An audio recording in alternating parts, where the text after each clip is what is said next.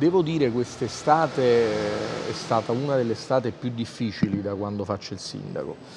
Non è mancato nulla e infatti sono stato, anche se qualche giorno fisicamente lontano da Napoli, impegnato ogni giorno su fronti così delicati eh, che francamente mi è venuto quasi da sorridere quando ho letto anche un dibattito molto, devo dire, anche interessante intellettualmente quest'estate sia sul corno a Rotonda Diaz sia sui 27 portaborse che, vorrei, che avrei assunto.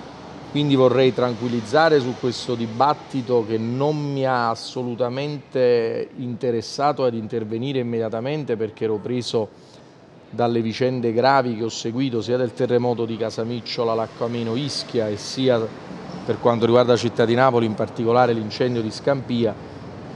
che il dibattito del corno mi, guarda, mi vede molto lontano, perché non è il corno del sindaco, quello di cui si sta parlando, e io non ho assunto nessun portaborse. Esattamente c'è stata una richiesta delle forze politiche presenti in Consiglio metropolitano, che ricordiamo tutti la parte politica svolge una funzione a titolo gratuito, senza guadagnare nemmeno un centesimo, di poter avere per meglio esercitare la, sua, la loro funzione a disposizione un collaboratore a tempo determinato. Questa cosa, siccome è una richiesta dire, che eh, normativamente, eh, amministrativamente, giuridicamente e finanziariamente può essere fatta alla città metropolitana, io l'ho considerata una richiesta da prendere in considerazione qualora c'era eh,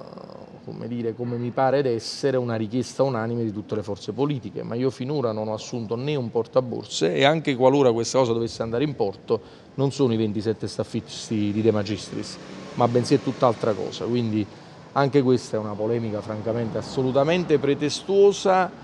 e assolutamente priva delle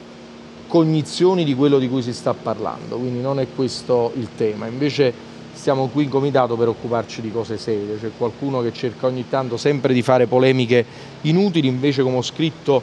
in un recente post su Facebook qualche giorno fa, io lavorerò per sempre una maggiore coesione nella nostra città. Napoli è stata anche sotto attacco in quest'estate, sono stati fatti molto gravi, eh, alcuni criminali,